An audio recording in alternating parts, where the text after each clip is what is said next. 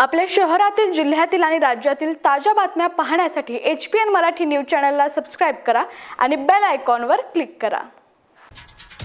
सोलापूर जिल्ह्यात आतापर्यंत सावळेश्वर ढोक बाबुळगाव घेरडी उळे आदी ठिकाणी रुग्ण आढळले होते.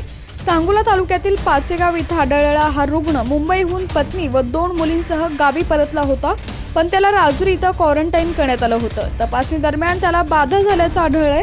जिल्हा आरोग्य विभाग पूर्ण सतर्क झाला असून स्थलांतरित येणाऱ्या लोकांवर लक्ष ठेवण्यात येत आहे. बाहेरून आलेल्या सर्व प्रवाशांना गावाजवळच्या शाळांमध्ये क्वारंटाईन करण्यात येत आहे. सोलापूर जिल्हा परिषदेचे आरोग्य अधिकारी भीमाशंकर जामदार हे आपल्या पथकासह पाचेगाव इथं दाखल झाले.